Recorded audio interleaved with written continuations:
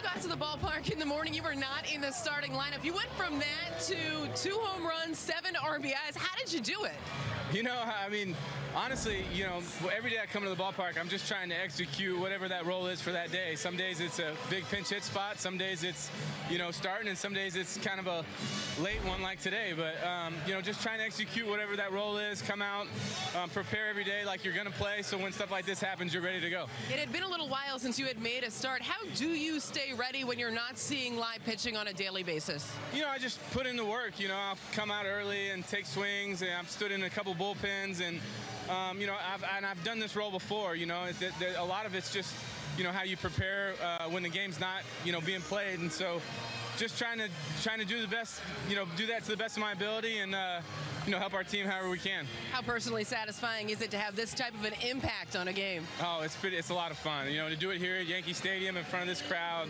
um, pretty special. And you weren't the only one. A lot of runs put up 18. What's it like when the offense is going the way they are this afternoon? Do you guys run in to get into that batter's box? I mean, it, I've said it a thousand times, and I'll keep saying it. It's a really special group. You know, I mean, it's it's like nine on one every day. You know, uh, the lineup, everyone's pulling for each other, helping each other out. We're all on the game plan. We're all on the same page, and you go out and you execute it. And the talent's obviously here, but when you do it with the way we do it, you know, it shows up in a big way.